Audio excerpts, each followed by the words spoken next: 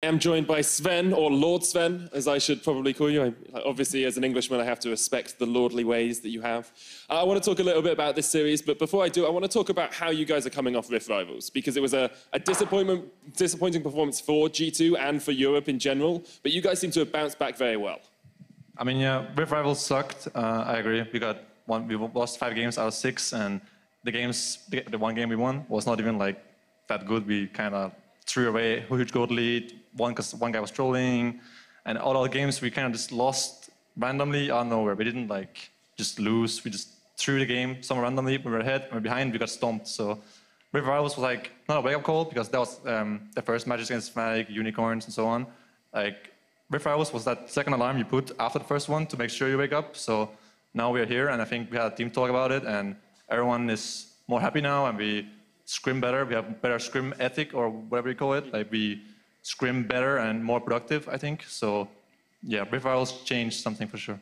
A bit of an attitude shift perhaps in the G2 house? It's not that we have bad behavior or like we're insulting each other or something like that. We're all good friends anyways, but we just like didn't have the best scrims of productivity or like we didn't learn as much as we could learn from our scrims. And I think now we are doing much better in scrims, not only like winning or losing wise, but we're also like making the scripts better for ourselves to learn more and we talk more about drafts and we have better preparation for our, for our games. So I think we're on a good track. Okay, we don't often talk about sort of scrim ethic and the, the background behind it. I'm going to push you a little bit further. What is it specifically that's made your scrims better? What, what means that you can learn more from them? I mean, EU always already had bad scrim uh, ethics or whatever you call it, where if you fall behind, you just FF. If you, at 20 minutes you're behind, just pause and go next game. Uh, we don't talk very well about the games in the post-game review. Uh, things like this where EU has already bad scrim behavior and we're just like, oh, we all died, let's pause and go next game. But now we're not pausing games until the next Nexus explodes and we're trying our hardest to come back and when we're behind, try to make it hard for any team to, to, to win, like make them sweat for it, make them make a mistake. And when we're ahead, we try to play it slow and calculated so we can't risk losing. Um, so yeah. You do seem to have a much slower style than other teams, especially on the new patch. Like H2K, when they beat you, overall there were 35 kills in the game, and then in both of your wins, there were 35 kills together. So what is it that makes you want to play slower on this patch? I think that game is like what we want to avoid. When you're behind, you want to play slow, and you want to make them take 10, 15 minutes to get Baron, but that game, we didn't do it so well. That's what we were practicing. But when we're ahead, we want to just play slower and not risk fighting over the loss. Also, your question was what? Sorry. Oh yeah. Why are you playing slower as, as a team? okay. Yeah. Yeah. So it was. Right. You answered it. Yeah. We are playing slower because when we're playing like our old style, whatever you want to call it, we tend to throw away games where we will get caught or we will fight we shouldn't fight. And there's one way to play when you're ahead that makes you not lose no matter what. If you play it perfect, you can't lose no matter what, um, unless you get outplayed somehow. But you take, you take the fight yourself. So we try to play perfect, kind of, uh, our risk-free style that when you're ahead, you win. When you're behind, you make it hard for the, the opponent. Well, some of your games did actually look pretty perfect, especially that game one. I'm going to ask you to rate yourself at the moment. Where do you think G2 stands as a team versus the other top teams in Europe?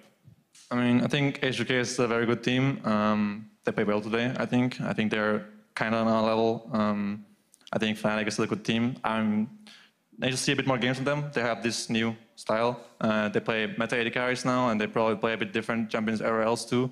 There's also a huge patch now with Broxah might be playing tank junglers now, so that might change their style a little bit. So I think Fnatic, HK, and us are still the top teams, and then Unicorns seem to be not doing too well recently. So I think we're in the top still. So you're the S tier, and they're sort of the A tier. Also, Misfits is a good team too.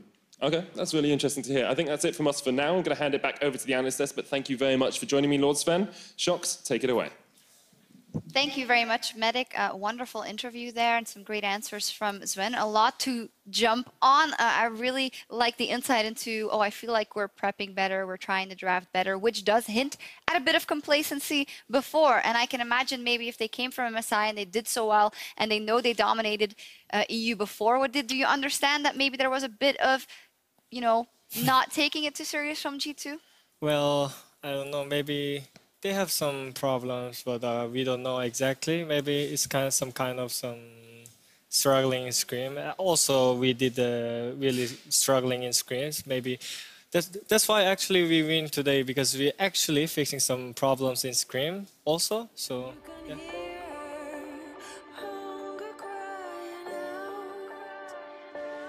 Sonic